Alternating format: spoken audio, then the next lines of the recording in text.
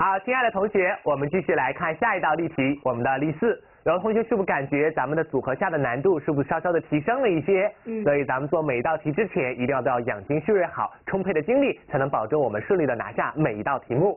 好，例四，某旅社呢有导游九个人，其中有三个人呢只会英语，有两个人呢只会日语，哎，剩下的四个人很全能了，既会英语又会日语。现在要从中呢选六个人，其中呢让三个人去做英语导游，另外三人呢去做日语导游。我们有多少种不同的选择方法？可能看到这道题呢，有同学会比较眼熟，对吧？就是看到这个有人又会这个又会那个，好像跟我们以前讲过那个多面手问题是不是很像？嗯所以呢，很多同学就知道啊，那我就从多面手入手，那就是我选的这个多面手去当日语的，去当英语的，或者说这个啊选几个多面手，啊开始分类了。OK，那么大家如果还能记得这一点，证明在当时你学多面手的时候，掌握的还是非常清楚的。在这里，大海老师要鼓励你一下，很棒哦，还能记得咱们以前讲过的内容。但是呢，如果大家有时间的话，或者有精力，你可以试着从多面手那里入手，你会发现需要分类讨论的地方太多了，非常多。为什么非常多呢？是因为这里面多面手的人是不是最多的？嗯对吧？你看我九个人里面只有三个会日语、呃英语，只有两个会日语，而多面手人里面最多的是四个人呢。那你从最多的这个人数来入手，你可不需要讨论情况很多吧？比如说我多面手选几个人，你是不是至少就得分成这样的几类？四个都选，选仨，选两个，选一个，或者是一个都不选。当然，可能有些情况可以直接排除掉，但这样子的话，你是不是相对来讲就已经有五类情况了吧？嗯然后你选了之后，这多面手还得考虑去当日语翻译还是去当英语翻译？当几个当日语的，几个当英语的哎，疯了，基本上听到我说到这儿，很多人就基本上不想走这条路了吧，就是对不对？那就因为这道题特殊在于，特殊之处在于我的多面手人数太多了，所以我入手起来，哎呀，想一想太痛苦了。那咱们来想一想，既然咱们挑了一个从人最多的入手不太好，那就应该怎么办？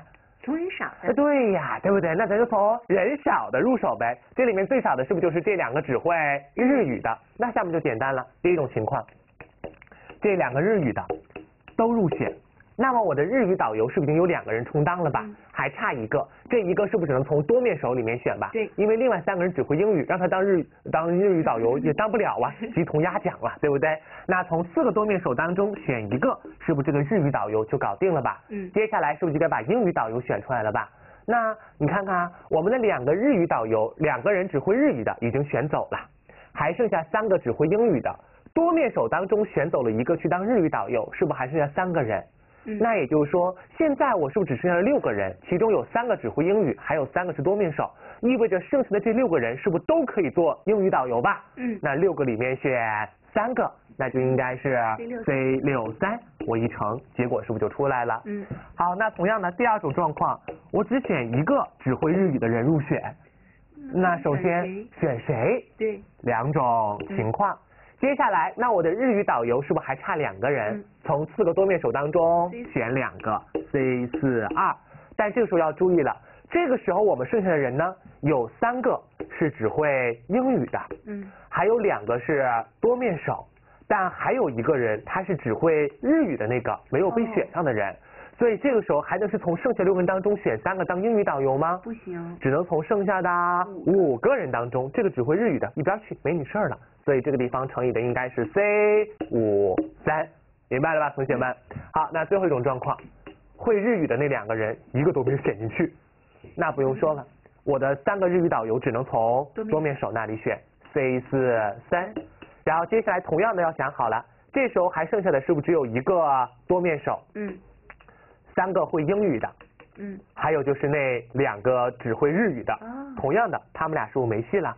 只能从这四个人当中选三个去当英语导游，那就应该是 C 四三。OK，算完之后一加，你发现是不是就三类很清晰就搞定了？嗯比多面手那个是不是好多了吧？对不对？所以呢，在我们做题的时候，大家一定要真正的读每一道题目，尤其是当你发现这道题这么眼熟，好像以前做过的时候，你更应该仔细来读题，因为很有可能我们的初学老师就抓住了你这样的心理，偷偷的在这个题目当中稍稍的做了一下数据的修改，或者是词语上的修改，就导致这道题可能就没有办法用原来的学过的方式来做，而这个时候我们就要采取新的办法，也是分类，但是我从人少的入手。好了，看一下解题过程。第一个，从什么语言入手？刚才已经说过了，是从会的语言少的那个人入手。